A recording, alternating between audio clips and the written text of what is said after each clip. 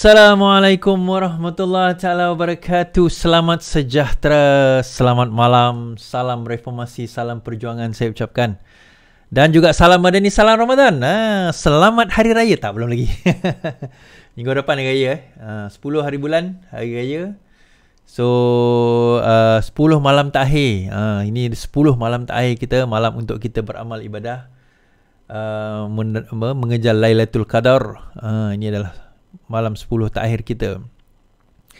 Kita ada 8 hari lagi lebih kurang macam tu untuk menyambut hari raya Aidil Fitri. Ha, terima kasih pada terus menonton kita dan insyaAllah uh, temani saya um, uh, apa orang kata bersama dengan saya nanti insyaallah pada malam raya uh, kan bersama dengan saya pada malam raya nanti eh, lagu-lagu raya tak boleh nak dimainkan lah di copyright kan nanti kena ban pula saya tapi uh, yalah kalau ada sempat kita akan bersiaran bersama Terima kasih daripada Bintulu, daripada Brunei, kita ada dari Bandar Seri Pemaisuri, Kempas Johor, kita ada dari Bangsar, lawan tetap lawan. Terima kasih Azizul.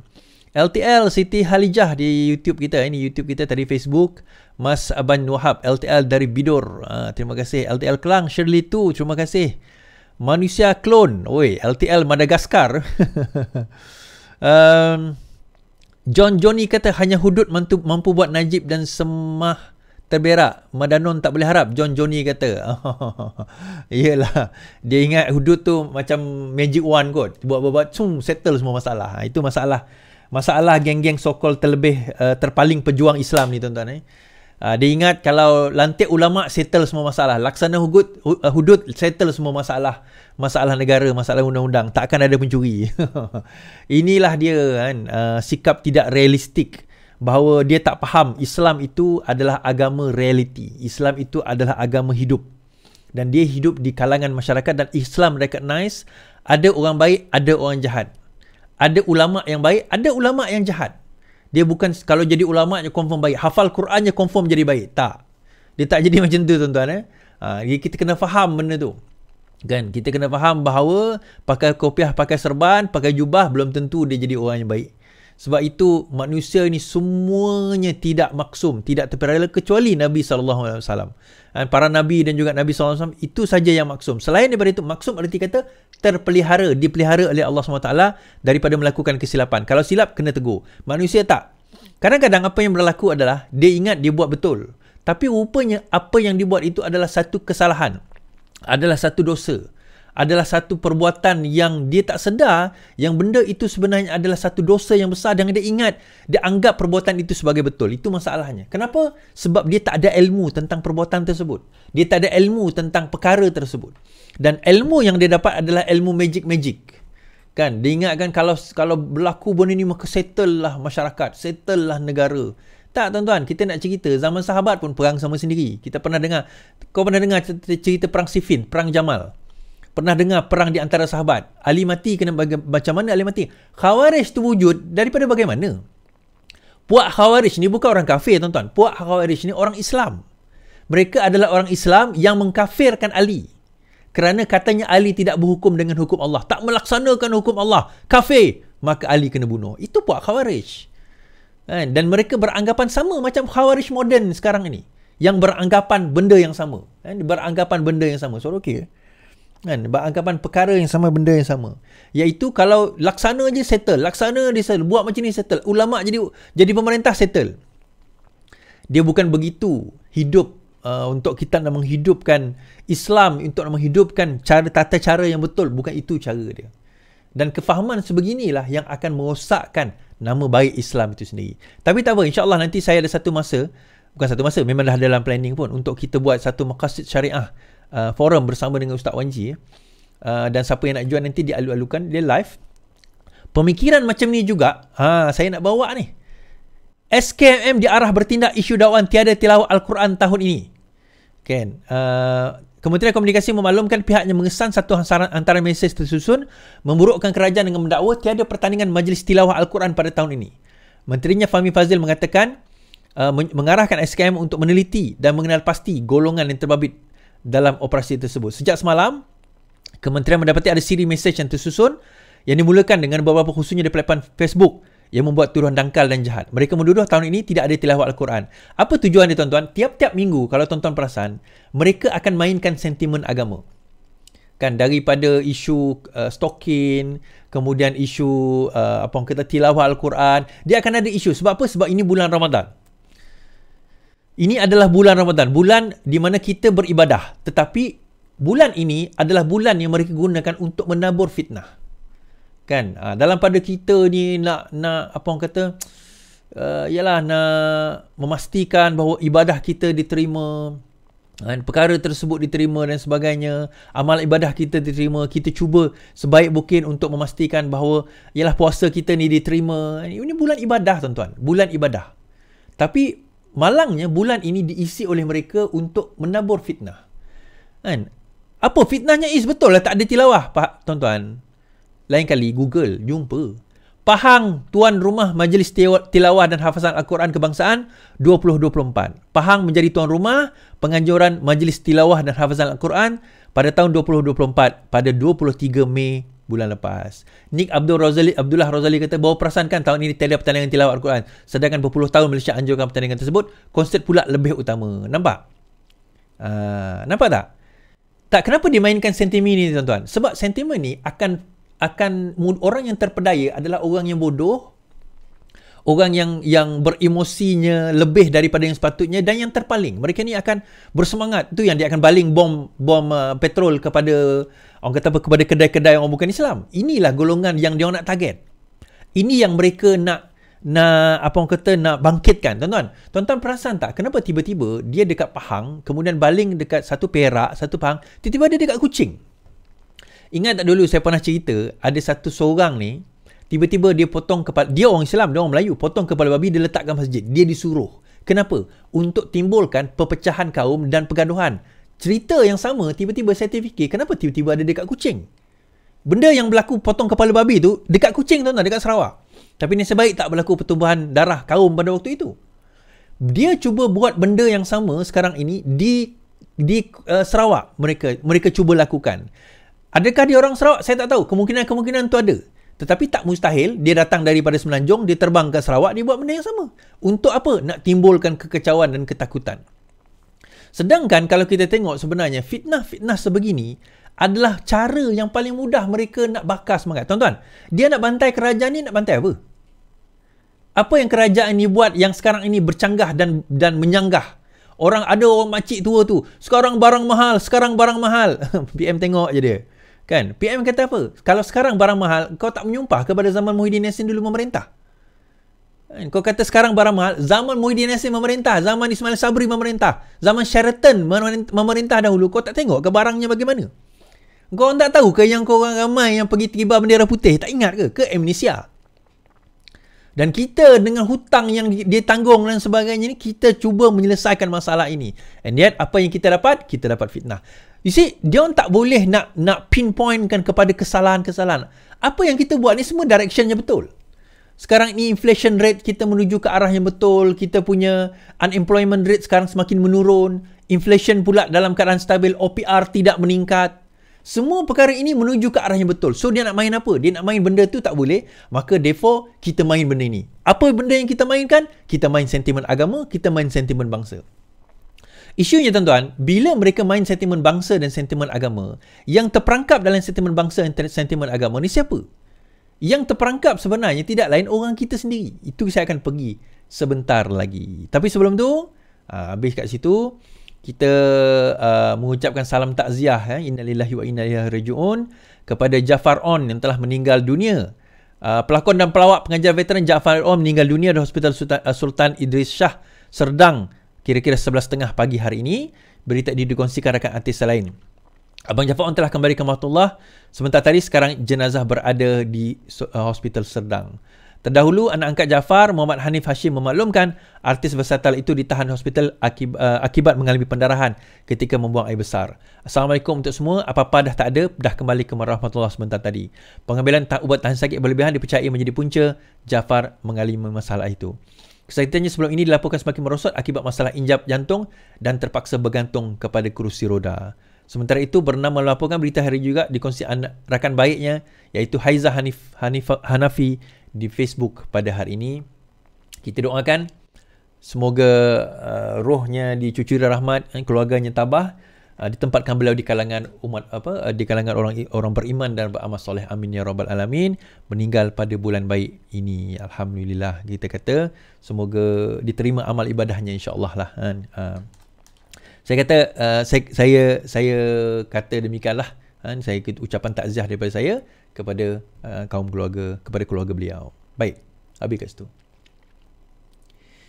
Right cerita baru ni di samping di samping apa nama kita duk cerita pasal uh, yalah pasal fitnah dan sebagainya. Tiba-tiba Alif Syukri keluar lagu baru. Saya tak saya tak tengok pun video klip Alif Syukri tu tuan-tuan eh. Dah tengok eh? Tuan-tuan dah tengok tak?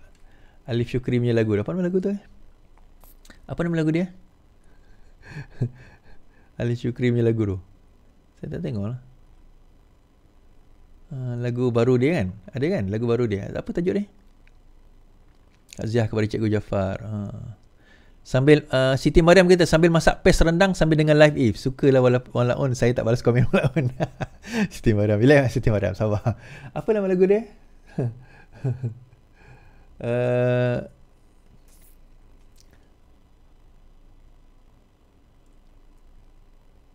Jun. Uh, mel, Dia kata meluat aku mangkuk ayun ni. Dah tua Asyik nak mengatakan orang je. Okay Jun kita bawa naik je lagi Jun. Boleh tak Jun?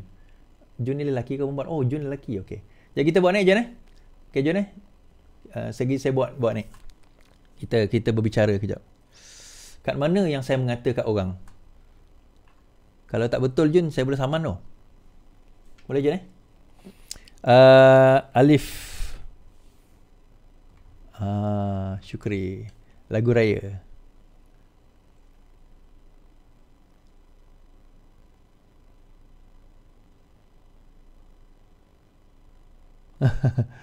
Uh, okay. So Alif Syukri dah keluarkan satu kenyataan bahawa sebenarnya dia tak ada lagu raya. Dia kata. Okay.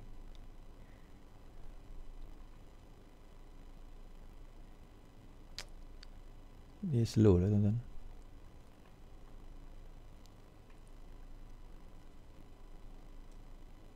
Lagu Rais saya tahu dia tak ada pun. Saya saja sakat korang semua.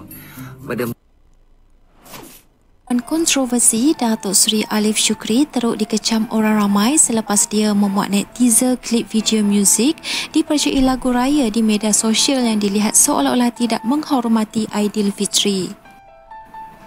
Sama seperti tahun sebenari, netizen Ibu Alif tidak beralif kemudiannya tamatnya permohonan maaf dan menyatakan teaser video terbabit telah dipadamkan. Telah dipadamkan menurut Alif Syukri. Okey. So Alif Syukri telah dirakam percakapan Suruhanjaya Komunikasi Multimedia telah merakam percakapan usahawan Alif Syukri di SKMM Sabajaya. SKMM dalam kenyataan memaklumkan rakaman percakapan itu dibuat susulan aduan yang diterima berhubung kandungan video teaser Hari Raya. Uh, klip video yang dimuat naik di platform media sosial dilihat sebagai kandungan bersifat jelek dan boleh melanggar peruntukan di bawah Akta Komunikasi. Ini termasuk Seksyen 233 Akta Komunikasi yang melarang perbuatan dan pengharangan komunikasi antara lain bersifat jelek, lucah atau sumbang dengan niat untuk menyakiti hati atau mengganggu orang lain. Menurut SKMM, siasatan di jalan di bawah Seksyen 233 dan sabit kesalahan, individu boleh dihukum denda maksimum RM50,000 atau penjara maksimum setahun atau kedua-duanya sekali. So dia kata tak ada itu April Fool saja. Tak apalah. Uh, kita maafkanlah dia. Tapi saya, saya lah. Saya tak tengok lagi video tu sebenarnya. Saya dok tengok orang dok dok share dok share dok share kan. Tapi saya tak tengok lagi video tu kan. Uh, so kita anggap begitulah kan. Uh, supaya jangan buat lagi lah eh. okay, habis kat situ. Alright. Seterusnya saya nak bawa kan uh, berkenaan dengan saya tak boleh lama malam ni tuan-tuan. Tiba-tiba laptop saya ni dia ada masalah dengan dengan bateri. Alright proposed amendment to Act 355 unconstitutional. Tidak ber uh, tidak akan dikatakan melanggar melanggarkan perlembagaan a syariah criminal offence already part of existing criminal laws governed by parliament interfaith council says. The proposed amendment to Sharia Court Criminal Jurisdiction Act uh, 1965 Act 355 which includes to the proposal to increase penalties for Sharia criminal offences will be unconstitutional as such offences are already part of existing criminal laws enumerated under federal constitution and interfaith council today. The Malaysian Council Council Buddhism, Christianity, Hinduism, Sikhism dan Taoism said enhancing sentencing power granted to Sharia court will allow for hudud related offences like theft, robbery, adultery, sodomy and intoxication to be tried under Islamic criminal law. However, um, they noted that Allah noted that affirmation offences were already part of the federal constitution. Nine schedule list one and this additional power will therefore be unconstitutional. Under FC's nine schedule, there are two different lists that say what the federal uh, federal government via parliament has power to make laws on what state government via the state legislative have powers to make laws on. Okay.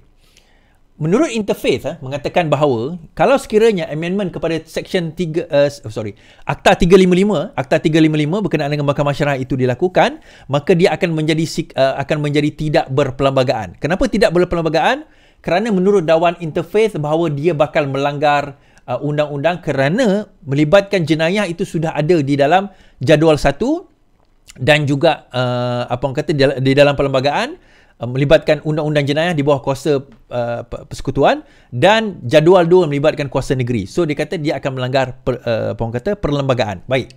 Ni saya jawab pada malam ini. Untuk interfaith sebenarnya untuk menjawab soalan tersebut tidak.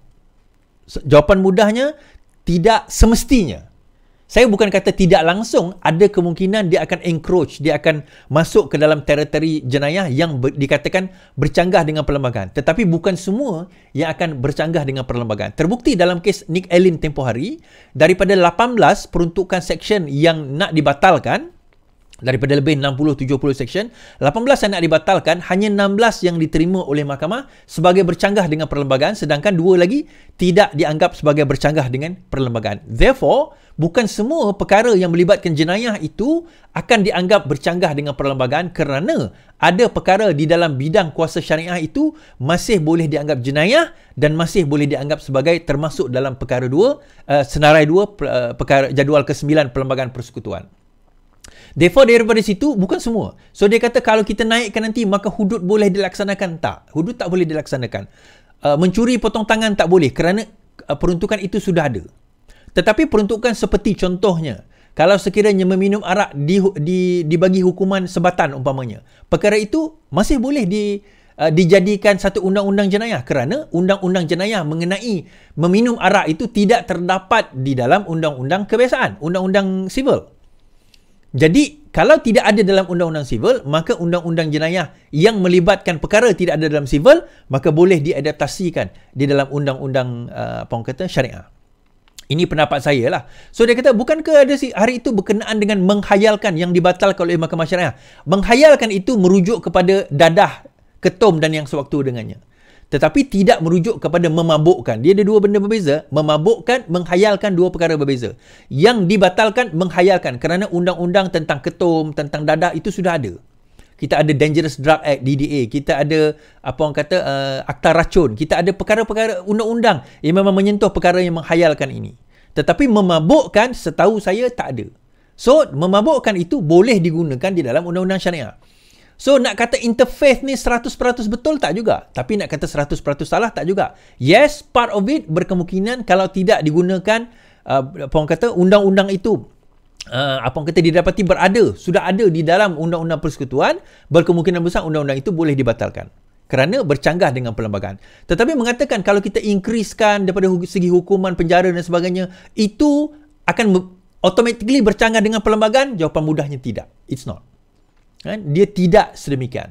Dia tidak semudah itu kalau kita nak membincangkan membincangkan uh, di antara jurisdiction mahkamah syariah dan juga mahkamah sivil ni. It's not that easy. Dia bukan semudah itu kita kata kalau buat macam ni therefore dia akan bercanggah. Tidak juga. Dan kalau benar ya, maka boleh challenge lah Akta 355 itu sebenarnya. Sebab increasekan Akta 355 ada tiga section saja tuan-tuan. Yang dia nak amend adalah section 2 berkenaan dengan 356. 3 tahun penjara, 5 ribu ringgit uh, denda dan 6 kali sebatan or the other way around. So yang itu nanti tidak diincreasekan. Increasekan perkara tersebut pun tidak boleh melaksanakan hudud. Kerana hudud by itself is a different category. Dia bukan itu. Dia bukan 356 itu. Even naik 100 ribu ke, tak boleh. Kan? Perkara hudud ni tak boleh. Dan untuk nak beritahu interface lah. Tapi tak apalah. Mungkin Siapa yang ada kontak dengan interfaith punya komiti ni, kita berminat lah nak berjumpa dan berbincang. Kita nak ceritakan. To be honest with you, sebenarnya 90 more than 90% undang-undang negara kita is already syariah, syariah compliance. And and you all live happily pun dengan undang-undang ada sekarang. So tak ada masalah sebenarnya. Hanya ada sebilangan dah. I would say 95%, 97% dah syariah compliant dah. Hanya ada sedikit yang tak dilaksanakan. But the rest of it dah dilaksanakan. Ui, macam mana tu Is? Kita duduk, kita bincang. Saya ceritakan. How sebenarnya undang-undang kita ini adalah undang-undang syariah dah. Saya bagi contoh tuan-tuan. Apa maksim kepada undang-undang kita? Maksim eh, ataupun prinsip. Seseorang itu didapati tidak bersalah sehingga dibuktikan bersalah oleh mahkamah yang adil. Dipanggil the presumption of innocence.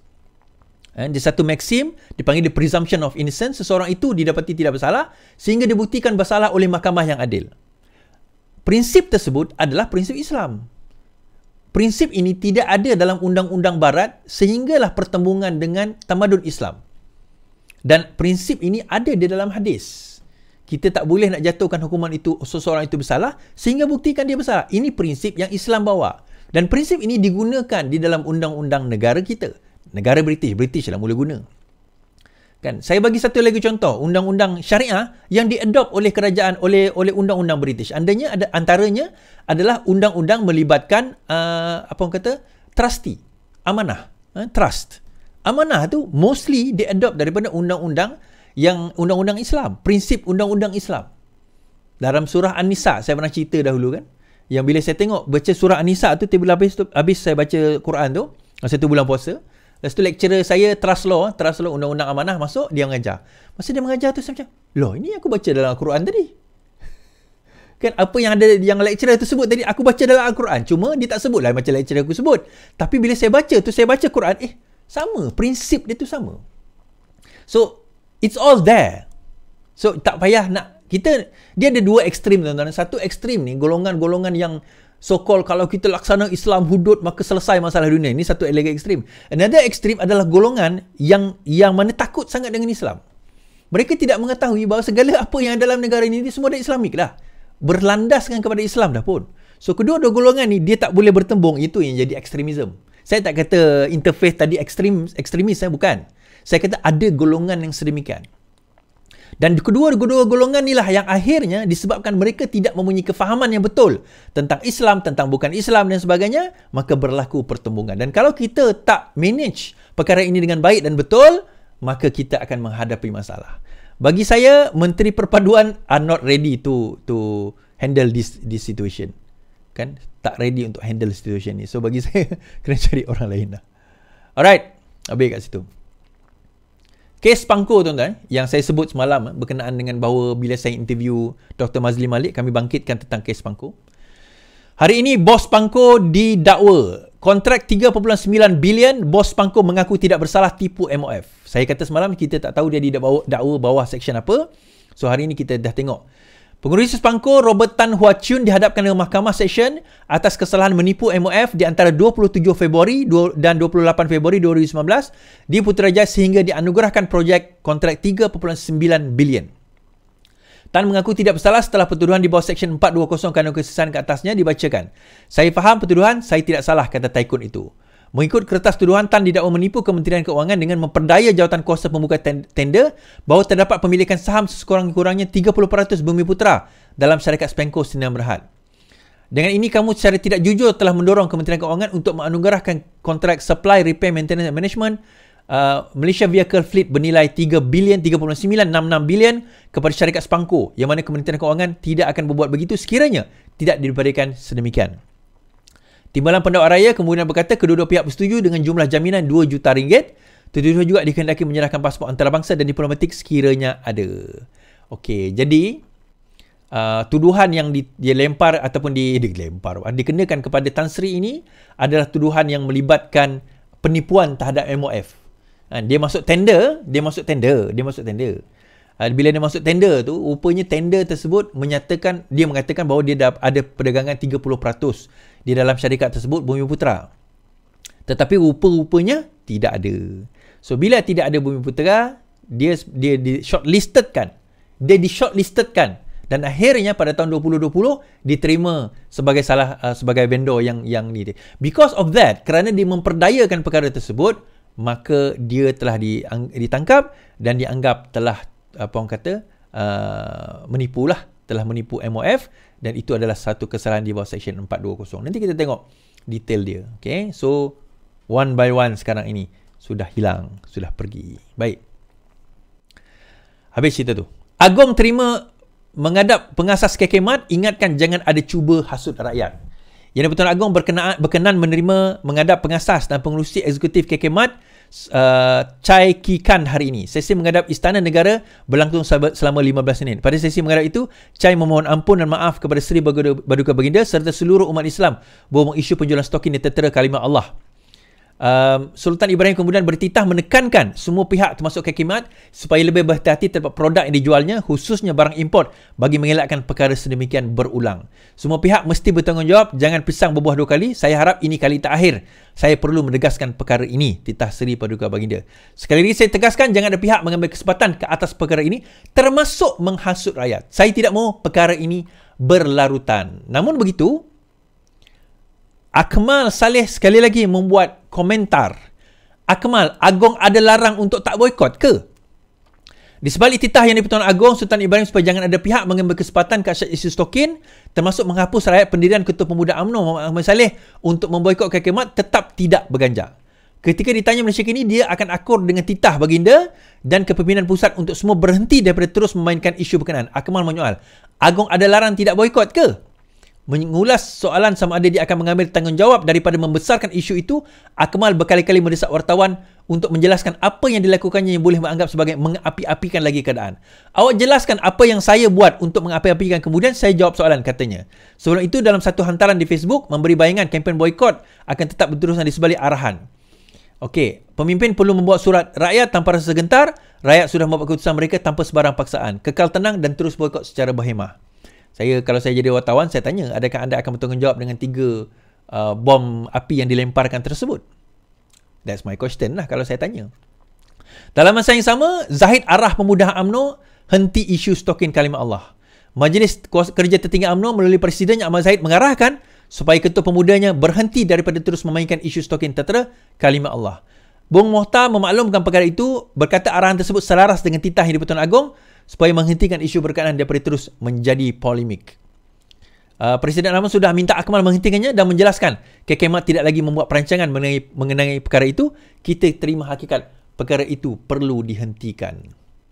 Namun begitu tuan-tuan, kadang-kadang it's easy untuk kita nak menunggang isu. It's easy untuk kita nak menunggang isu daripada memberi penjelasan kepada rakyat. Kadang-kadang eh, kita nak membina ni senang tapi kita nak merosakkan tu mudah. Kan? Kita nak membina ni senang kita sorry kita nak membina ni susah sukar difficult. Tapi nak merosakkan satu perkara itu senang tuan-tuan. Kita nak bina keharmonian ni senang. Eh susah sukar. Tapi nak rosakkan dia sekelip mata. Sebab itu orang kata Rom itu uh, terbak, apa musnah dalam satu malam kan? Kerana terbakar kan? Actually bukan kerana terbakar tu but because of akhlak apa orang kata orang-orang dia. Penduduk-penduduk dia. Itu yang menjadi masalah kan? Itu yang menjadi masalah. Alright. Okay Habis kat situ.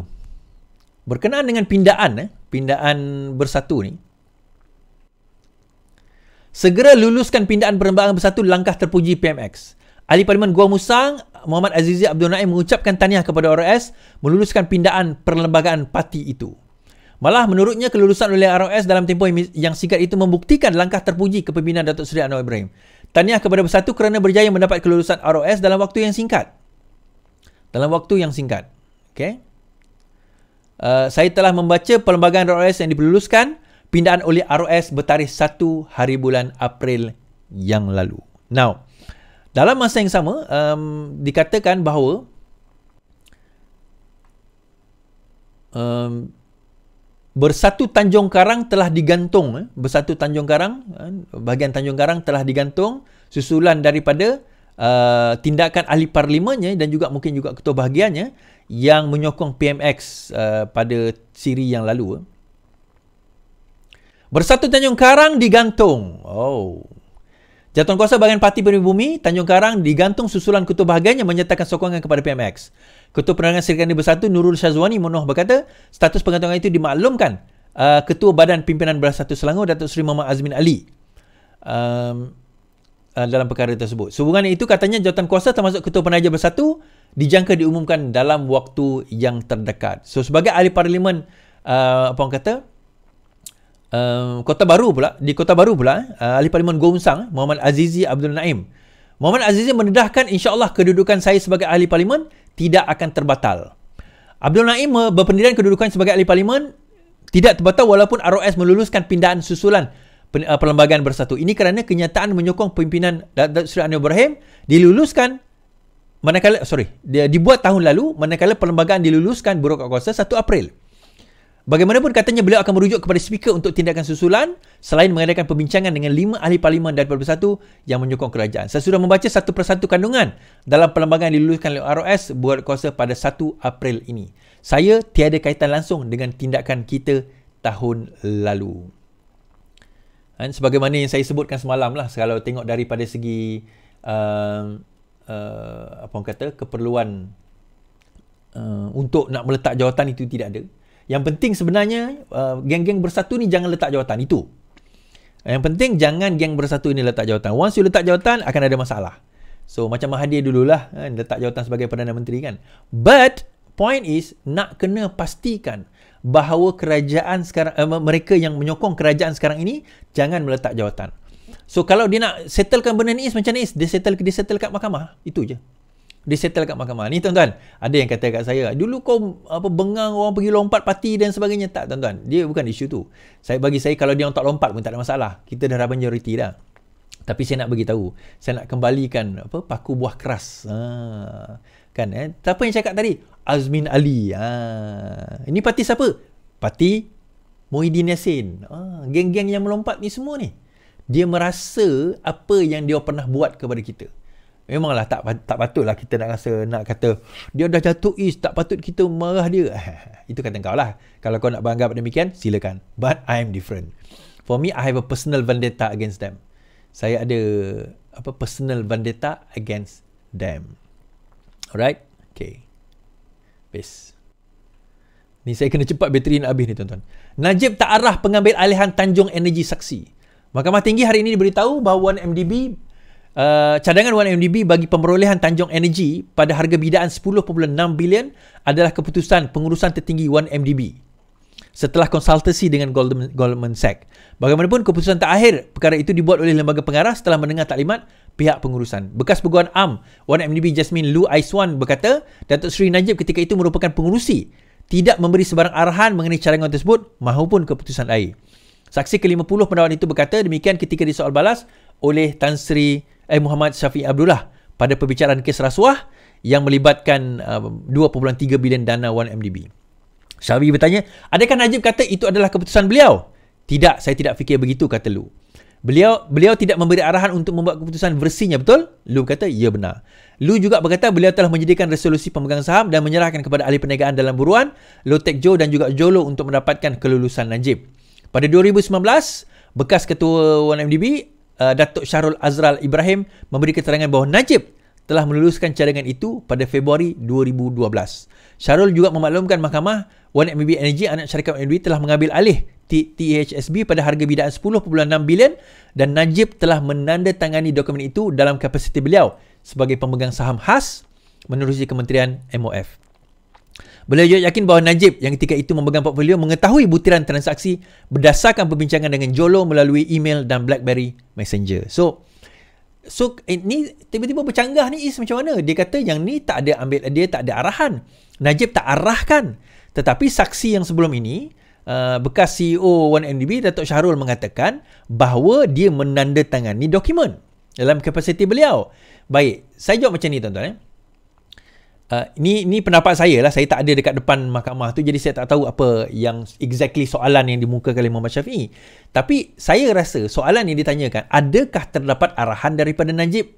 Sepengetahuan Jasmine Lu. Sepengetahuan Jasmine Lu jadi mengikut pengetahuan Jasmine Lu dia mengatakan tidak arahan because soalannya berkenaan arahan dia tidak ada dia bukannya bertanya soalan adakah terdapat tanda tangan persetujuan daripada Najib berkenaan dengan isu tersebut.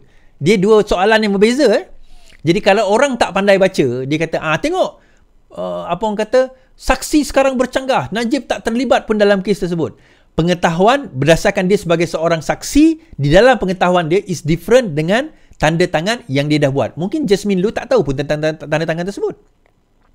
Kan? Dia tak tahu pun ada dokumen dan tanda tangan tersebut. Dan dia sebagai pekerja 1MDB, dia tak perlu tahu semua. Dia tak perlu tahu semua dokumen-dokumen. Itu adalah di, di antara CEO dan juga board. So sekarang ni Jasmine Lu sebagai salah seorang lawyer am, peguam yang dilantik oleh Jolo sebenarnya Jolo Jolo letak dia kat situ.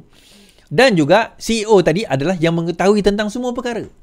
So adakah kedua perkara ini bercanggah? Tak, dia tak bercanggah sebenarnya. Sepanjang pengetahuan Jasmine Lu, dia kata dia tak tahu betul lah tu. Kan dia tak tipu. Kan. So akhirnya hari ini kes, itu kes 1MDB. Jadi ada yang confuse. Aku dah confuse is. Kes Najib ni macam mana sebenarnya? Baik, saya cerita lah eh. Najib ni dia banyak kes. Yang didapati bersalah 12 tahun kemudian diskaun 6 tahun itu pada tempoh hari adalah kes SRC. Okay, itu kes SRC. Nah, dalam kes SRC beliau telah didapati bersalah. Okay. Yang ini kes 1MDB. SRC itu adalah salah satu anak syarikat di bawah 1MDB yang terlibat dalam transaksi. Ada satu lagi kes SRC yang tu kes saman civil. Yang SRC yang kena tu kes jenayah. So dia banyak. Dia banyak eh. Okey. So, timbul hari ini, Najib telah membangkitkan bahawa sebenarnya dalam pengampunan diraja membenarkan tahanan ditahan di rumah. Najib dakwa pengampunan diraja benarkan tahanan di rumah. Okey. Um, Datuk Seri Najib mendakwa bahagian tambahan atau titah addendum dalam pengampunan diraja bil, uh, membenarkannya untuk mengambil baki hukumannya penjara 6 tahun dengan tahanan di rumah. Najib membuat dakwaan itu apabila memfailkan permohonan bagi mendapatkan kebenaran semakan kehakiman titah addendum atau tambahan uh, Sultan Abdullah. Beliau menamakan Menteri Dalam Negeri, Komisioner Jeneral, Peguam Negara, Lembaga Pengampunan, uh, Menteri Di Jabatan Perdana Menteri, Undang-Undang, Ketua Pengarah Bahagian dan uh, Kerajaan Malaysia sebagai responden pertama hingga ketujuh. Dalam notis permohonan yang dibuat, Najib memohon perintah untuk semua atau sebarang seorang responden melaksanakan titah dengan cara serta-merta uh, memindahkan beliau dari Kajang ke kediamannya. Bekas Perdana Menteri kemudiannya akan menjalani bagi hukuman di bawah tanah rumah jika titah adendum berkenaan benar-benar wujud. Soalan yang perlu nak dibangkit atau nak dibuktikan oleh Najib adalah bahawa adakah uh, titah tersebut benar-benar wujud. So nak membuktikan kena buktikan di mahkamah lah sebab kita tak tahu dan saya sendiri tak aware tentang addendum tersebut. Baik. Tetapi despite all that sebenarnya ini nak cerita lah. Biasanya pada kebiasaan seseorang itu boleh ada parole dia uh, dipanggil pelepasan bersyarat. Di rumah ini apabila dia telah serve satu per 3 daripada antara lain satu per 3 daripada hukuman dia. So hari itu kalau 12 tahun satu per 3 itu 4 tahun. Tapi disebabkan dah diturunkan kepada 6 tahun, maka 1 per 3 itu adalah 2 tahun. Jadi sebenarnya kalau tak melalui addendum itu pun, Najib sudah boleh request untuk parole atau tahanan di rumah dah berkenaan dengan kes SRC ini. Cuma apa syarat tahanan di rumah? Tahanan di rumah ni antara syaratnya lah. Antara syaratnya dia mungkin uh, dia kena tunjuk lah dia nak bekerja atau ada sesuatu dilakukan. Tetapi dia tak boleh keluar daripada kawasan dia ada area yang dia dia boleh pergi. Dia boleh keluar rumah, dia boleh pergi kedai dan sebagainya, tetapi dia ada area. Dia macam tahanan dalam daerah lah yang dia tak boleh nak keluar daripada tempoh tersebut. But then again, itu terpulang. Ada yang tanya, so maksudnya Najib lepas lepas ni is? Kita tunggu dulu. Uh, kita tunggu dulu sama ada uh, benda itu benar-benar berlaku atau tidak. Okay? Uh, so, kita kena tengok dahulu. Baik. Um, right, habis kat situ. Balik pada cerita Mahathir tuan-tuan eh. Okay. Pada tahun 2018, 2019, pada waktu itu kita ada konflik. Kita dah lama konflik dengan pasal isu batu putih ni. Saya dengar cerita batu putih ni tuan-tuan sejak saya di sekolah menengah lagi kot. Ke sekolah rendah lagi saya dah dengar cerita konflik tentang batu putih ni. Sejak zaman Mahathir jadi Perdana Menteri dulu. So apa yang berlaku sewaktu zaman Pakatan Harapan, sewaktu dia jadi Perdana Menteri, dia telah mengarahkan Apandi Ali pada waktu itu peguam negara untuk pergi garden leave. Garden leave ni cuti secara paksa. Selama empat hari. Dan pada waktu itulah dia telah mengambil keputusan secara seorang diri untuk tidak meneruskan rayuan apabila Batu Putih kalah di mahkamah antarabangsa. So, Apandi Ali menjawab dan mendedah dan mengantuikan Mahdi. Apandi sahkan tidak dirujuk batal rayuan isu Batu Putih. Bekas Peguam Negara Tan Sri Apandi Ali berkata beliau tidak dirujuk oleh Mahathir ketika hendak kerajaan menarik balik permohonan membatalkan keputusan Mahkamah Keadilan Antarabangsa menganugerahkan Batu Putih kepada Singapura 6 tahun lalu. Beliau juga mengesahkan apa yang didedahkan oleh jabatan uh, menteri jabatan sorry menteri di Jabatan Perdana Menteri Datuk Azlina berhubung isu Batu Putih adalah benar. Apa yang didedahkan adalah benar. Saya tak mau komen lebih tapi saya bersedia untuk memberi keterangan kepada Suruhanjaya Diraja yang diketahui oleh uh, Ketua Hakim Negara. Okay. Uh, saya peguam negara ketika itu tetapi semasa Mahathir Mahathir buat keputusan beliau tidak pernah merujuk kepada saya sebagai peguam negara malah pada masa itu saya telah dipaksa bercuti selama 30 hari bukan 4 hari ya oleh setiausaha uh, ketua setiausaha negara pada masa itu semasa saya berada dalam garden leave itu perkhidmatan saya ditamatkan sebelum habis tempoh bercuti katanya Muhammad Fendi dilantik sebagai peguam negara pada 2015 kemudian uh, diambil alih oleh Tan Sri Abdul Ghani Patail Patail yang uh, ditamatkan khidmat kuasa pada 27 Julai tahun sama sebab kesihatan. Kemudian uh, uh Muhammad Afandi ditamatkan kerajaan pada Jun 2018. Kemudian beliau digantikan oleh Tommy Thomas. Dan kes uh, tentang dia dipecat itu, uh, Muhammad Afandi Ali tuduh Muhammad Tun Mahathir punca dia dipecat. Okay. Alright. Bekas Peguam Negara Tan Sri Muhammad Afandi mendakwa. Hmm, hilang pula mendakwa bahawa bekas Perdana Menteri uh, Mahathir Mohamad membentuk pandangan negatif dan jahat terhadapnya sehingga mendorong kepada penempatan kontrak perkhidmatannya sebagai peguam negara pada 2018. Didorong dengan tekad itu katanya khidmatnya ditamatkan secara tidak mengikut perlembagaan yang tidak sah. Pelantif sebab disaman eh Muhammad Fendi pergi saman Mahathir menegaskan akan mengumpulkan bukti bahawa defendant pertama Dr. Mahathir membentuk pandangan negatif dan berbisa terhadap pelantif sehingga membawa kepada pemecatannya. Bekas peguam negara itu berkata beliau akan mengumpulkan bukti bahawa peranan Ibu Tun Agong tidak diambil kira atau diketepikan oleh Mahathir terhadap pemecatan beliau. Jadi, RCI sekarang ditubuhkan tentang perkara ini. Mahathir tersepit tuan-tuan. Dia macam ni. Dalam pada dia nak dia nak mengelakkan diri, dia rasa bahawa yalah dia bersih, cekap dan amanah sebagainya dia mungkin kita tak nak sabitkan dalam isu rasuah tu agak payah sebab saya kata kelicikan dia. Tetapi belum tentu dia akan lepas dalam isu RCI ini. Saya pernah kata tuan-tuan, benda ini kalau betul sabit kesalahan, ini satu treason, penderhakaan. Ini satu penderhakaan tau. Dia bukan calang-calang punya hukuman, dia bukan macam jenayah biasa tu. Ha, kalau penderhakaan ni, kalau kita tengok semalam kan, uh, yang yang lelaki Israel, lelaki Israel tu kan dengan dua orang tu berdepan dengan hukuman mati tau. Ha, berdepan dengan hukuman mati. Lelaki Israel pasangan suami isteri berdepan hukuman mati jika sabit kesalahan KPN. Ha. Okay. Gambar pasport Shalom Avitan seperti yang dilaporkan media Israel dan enam pucuk pistol bersama 200 peluru hidup dirampas uh, semalam. Lelaki Israel dikenali sebagai Sharon Avitan dan pasangan suami isteri warga tempatan yang disyaki membekalkan senjata berkenaan bakal berdepan hukuman mati jika sabit kesalahan. Ketua polis berkata, ia kertas siasatan terhadap mereka dibuat mengikut Seksyen 7 Akta Senjata Api penalti lebih berat 1971. Sebelum kita ini, Shalom ditangkap pada 27 Mac. Siasatan dijalankan mengikut Akta Pasport kerana sebagai warga Israel telah memasuki negara ini menggunakan pasport Perancis Namun siasatan kini dijalankan terhadap kesalahan lebih berat iaitu pemilikan senjata api. Sebab ada orang tanya, macam mana Malaysia boleh membenarkan orang Israel masuk dalam negara kita? Dia tak guna pasport Israel ngang. Ha, aku sebut ngang kan. Dia guna pasport Perancis. Macam mana pula dia guna pasport Perancis? Kau tengok cerita James Bond tak? Kau tengok tak cerita-cerita tu? Pasport ni boleh dibuat, boleh dipalsukan. Okay. Ha. So dia telah telah menggunakan pasport tersebut untuk masuk dalam negara kita untuk melakukan aktiviti dan maklumat yang kita dapati sebenarnya ia berlaku kerana ada cubaan kerana semangat dan juga keberanian PMX menentang Israel. Yang ini kita risaukan tuan-tuan. Sekarang ni kita sudah ada pemimpin yang lantang dan berani menegur barat dan juga menegur apa yang berlaku di apa orang kata di Palestin. Semalam 30 lebih 30 ribu orang pengeboman yang berlaku semalam berlaku, semalam kedua hari lepas berlaku. Perdana Menteri kita antara yang kuat menentang. Israel sekarang mengugut dia kata kalau sekiranya apa orang kata benda ini berlaku apa desakan ini berlaku nanti Malaysia yang akan rugi. Ha. Um,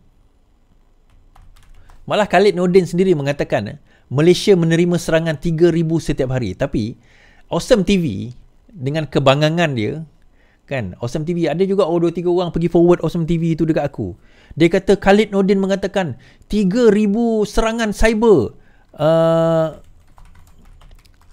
berlaku. Jadi Khalid telah mengatakan supaya padu itu uh, apa orang kata uh, dibatalkan. Mana ada Khalid Nordin cakap macam tu? Kan? Khalid, Khalid Nordin tak cakap macam tu. Tapi macam mana Awesome TV boleh kata macam tu? Saya sarankan supaya Khalid Nordin tolong saman Awesome TV boleh tak? Khalid Nordin pula. Ah, yalah, Khalid. Muhammad Khalid. Ah, Khalid Nordin lah. Muhammad Khalid Nordin, Menteri Pertahanan. Tolong saman Awesome TV. Boleh tak tolong saman Awesome TV? Okey. Apa sebenarnya kenyataan daripada Khalid Nordin? Kita baca. Malaysia terima 3,000 serangan cyber setiap hari, Muhammad Khalid. Sistem pertahanan negara menerima kira-kira 3,000 serangan cyber setiap hari setelah Malaysia menyatakan sokongan terhadap Palestin. Beliau berkata serangan melibatkan pelbagai pihak bertujuan mengintip pergerakan Malaysia terhadap konflik yang berlaku di Gaza, maka malah turut menggodam sistem pertahanan negara. So dia kata 3000 sehari uh, maka itu adalah akan menggugat kita punya padu. Padu bermasalah nanti. Tak ada kena-mengena disebut padu pun. Itu Awesome TV je cakap. Ini 3,000 Khalid kata. Rafizi kata daripada Januari lebih 2 juta cubaan tembusi keselamatan padu setiap hari. 2 juta. Khalid sebut sebut 3,000. Untuk padu sahaja 2 juta cubaan dilakukan setiap hari. Daripada Januari sampai sekarang cubaan tersebut tidak berjaya. Kan? Yang ni Khalid sebut 3,000. Rafizi kata untuk padu saja. Padu saja 2 juta sehari. Tak berjaya. Tak berjaya. Jadi itu saya kata tuan-tuan. Dia orang akan cuba untuk rosakkan kita. So dia tak boleh rosakkan sebab dia tahu PMX ni macam ni. So dia nak jatuhkan PMX macam mana? Geng-geng ni, ni saya nak cerita konspirasi teori dia. Dia akan letakkan Okay. Tuan-tuan tahu tak macam mana um, siapa sebenarnya yang menaja um, Osama bin Laden? Siapa sebenarnya melatih Osama bin Laden? Yang melatih Osama bin Laden dahulu, yang melatih uh, Taliban adalah CIA. Kenapa? Pada masa itu perang dingin di antara Amerika dengan Rusia. Rusia pada masa itu menyerang uh, apa orang kata askar-askar dan juga menyerang kawasan Afghanistan. Untuk memastikan bahawa Rusia Rusia ini tak boleh advance, maka dia latih uh, tentera-tentera Taliban dan latih antaranya Osama bin Laden. Senjata-senjata mereka adalah senjata-senjata yang dibekalkan oleh Amerika Syarikat. Tak percaya tonton tengok cerita Rainbow 3, Rainbow 3. Ah, kan masa tu dia tolong geng-geng Taliban. Jadi, apa yang berlaku adalah akhirnya bila ada konflik 9/11, dia pergi serang Afghanistan disalahkan Osama bin Laden. Itu jadi kambing hitam. Jangan terkejut kalau perkara yang sama dia orang nak lakukan dengan negara ini untuk jatuhkan PMX. Saya tak sebut Amerika, tapi siapa di belakang Amerika? Siapa yang membekalkan intelijen-intelijen dan kekuatan-kekuatan? Dan mereka ini dia berani dia letakkan assassin mungkin assassin itu untuk PMX mungkin untuk orang lain wallahu alam. Tetapi dalam masa yang sama tuan-tuan siapa kata yang dalam social-social media ini yang dok letakkan apa orang kata yang nak pergi bantai PMX yang dok timbulkan isu setiap minggu ni? Tuan-tuan perasan tak? Setiap minggu ada isu agama. Isu apa orang kata isu stokin kemudian isu tilawah kemudian isu apa lagi. Ada banyak isu setiap minggu bulan Ramadan ni. Siapa kata bukan mereka yang sebenarnya menaja tetapi secara tidak diketahui duit itu datang daripada Israel tetapi secara tidak diketahui walau on walau ni ambil dia ingat dia berjuang untuk Islam. Sebab apa? Tindakan dan kata-kata tegas PMX kita. Ah tuan-tuan jangan terpedaya. Bila disebut dajal moden kan dia ada dajal besar. Dajal besar tu belum lagi. Ni ada dajal-dajal kecil tuan-tuan. Dan Dajjal, tuan-tuan perasan tak? Dajjal ni, tuan-tuan perasan, Dajjal ni, dia tak pernah ajak kita buat jahat. Dajjal ni janjikan syurga, janjikan keindahan, betul? Dia janjikan syurga, dia janji, dia, macam mana orang boleh percaya pada Dajjal? Kalau Dajjal tu datang muka dia jahat, muka dia muka bengis, ada parut kat sini, orang nak percaya? Tak. Dajjal tu datang dengan muka yang baik, mungkin berserban, mungkin bertasbih, mungkin mulut dia astaghfirullahalazim, astaghfirullahalazim. Mungkin dia mengucapkan kata mungkin. Ini bukan dajjal besar eh. Saya tekap pada dajjal kecil.